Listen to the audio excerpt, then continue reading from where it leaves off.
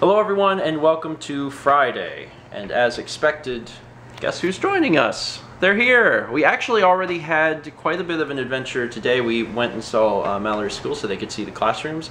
Now we're back at the apartment after I got lost driving by myself. And uh, Mal has got a gift for you guys. Sort of a late anniversary present. I'm sitting in the famous The Stephen fame, couch. the the Stephen couch. Yeah. I think we have to switch places though. Doesn't Mallory? Yeah, I normally sit on that side. Yep, gotta switch. I'm glad that that was important enough to actually do. This is actually my good side. That Look was the at moderation. Mika. Very cool. That's nice. Yeah. Watch out for the sharp point back. Do they know what? Do you know what that bottle's from? No. Wine. That was a bottle from your wedding. Yes. Really? That is awesome. There's still some wine residue in there. After being heated up to 2,000 degrees, I don't think so. That's Thank cool. you so much. That's very thoughtful. I mean, you can put cheese on it. You can use it as a spoon rest or hang it on the wall or whatever you Did want you to do Did you do. this? Uh-huh. yeah, I love that. That's nice. It That was a is little sharp cool. on the back. I couldn't get. That is really cool. Because I would like to actually frame it and put something from our wedding on there. If I would have, I took the labels off. I should have kept them, and then like glued it back on. But Oh, I accidentally threw away, and then thought of it. That's cool. Thank you. Very You're cool. welcome. Look at Kitty. We came to Bistro 90. It's mine. uh, it's a place that Mal and I have known about for a long time, but we've never tried. Um, and Mark got an appetizer of mussels.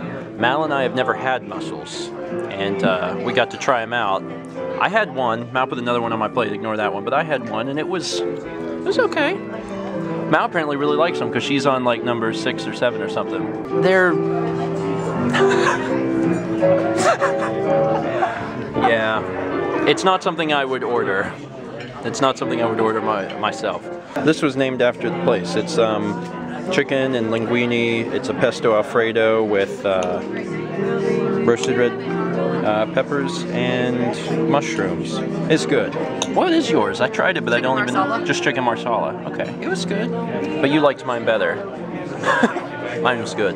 What do you have over there? I have sea bass. Sea bass. was really good. Okay, yours looks good. And Rhonda, you have I have the, The- crazy salad, which Yes. is my go-to summer salad. But since it feels like summer here, it's like appropriate even in October. After our dinner, uh, Mal and I came back here. Mark and Rhonda went to go check in their hotel for the evening. And um, we had some time. I had stuff set for the next few days, so I was like, hey, let's watch a movie. And we were going to watch a movie, but then I decided since Mal wants to start playing Last of Us, well, she start playing Last of Us. So we had some ice cream, uh, and then Mal started The Last of Us. How long did you play? Like about an hour? Yeah. Probably about an it's hour. good. I like it. Yeah, it's it's hard watching someone else play. It's it's weird because I'm when I play I'm like super super thorough. Like I I scout like all the locations and when there's people talking, like I'll sit there and just listen to them talk. And Mouse playstyle is different, so it's really really hard to watch her play because I'm like. Why, why didn't you just sit there and listen to those people talk? And she's like, I don't know. I didn't think about it. You know, I'm following this person or doing this and uh, it's just it's kind of difficult. So I won't be watching her all the time. The reason she started it, she's been waiting to start it um, because I didn't want her to start playing it and then get further than me, and then there'd be a chance I get spoiled on something. So what um, where I'm at now in the game, I'm gonna finish it next week. Um, I'm just I'm really really close to finishing it. So I said you should go ahead and start it because you're not going to pass me up at this point. So I've been getting really, really far ahead in, in Let's Play stuff. Uh, really far ahead, like finally, thank God. So uh, I'm going to finish it next week and, then then it, it should be done. And then I'm going to get a few other things taken care of, get everything edited, uh, situated, finished, and then uh, I'll be starting uh, to work on Ico. So uh, I'll make sure that Ico is actually the LP that follows Last of Us, which is exciting. Good. Yes, I know, right? Uh, People have been asking about it for how long? Months and months and months and months. Sorry, everyone. It is coming. Um, anyway, tomorrow's agenda.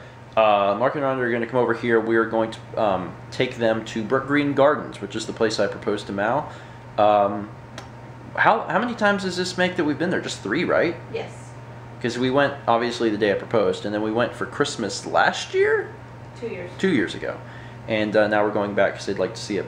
So uh, they're gonna get over here probably around noon. So we're going to uh, maybe get a bite to eat, and then go to the gardens, and then tomorrow evening we're gonna have dinner with my parents, and then probably go back to my parents' house and I don't know, play games and have dessert or something. So it'll be fun.